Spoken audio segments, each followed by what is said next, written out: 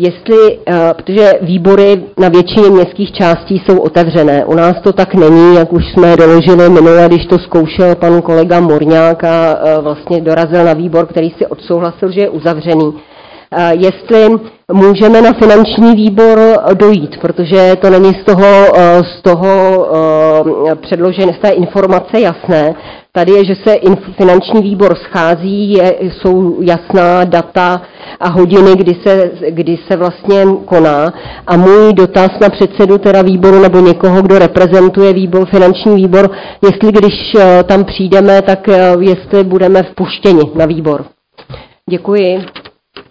Souvisí to s jednacím řádem a s hlasováním jednotlivých členů výboru. To je celá odpověď. Děkuji. Končím bod různé, protože se nikdo další nehlásí. Ještě paní zastupitelka Drhová.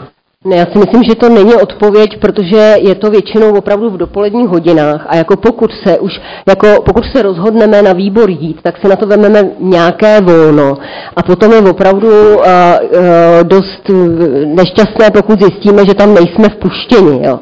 Takže uh, pokud by tady byl nějaký úzus, že jako členové zastupitelstva mohou docházet na, na výbory ve svém volném čase, uh, nemají samozřejmě hlasovací právo, právo, ale mají přístup k informacím, tak my s tímto budeme nějak pracovat.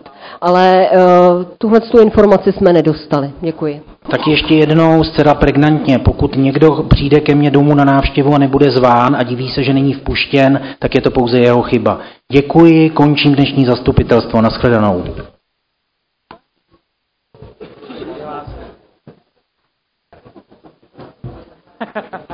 Já jsem chtěl reagovat. Já jsem chtěl reagovat.